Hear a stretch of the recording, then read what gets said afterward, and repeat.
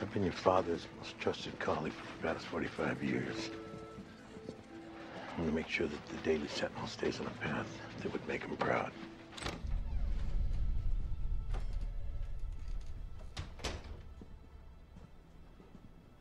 So what do you think of all this? I don't think anything, man. I don't know a thing about this newspaper. I've I've never even read a full edition of it. You can do whatever the hell you want with it. I'm not the guy to run the Sentinel.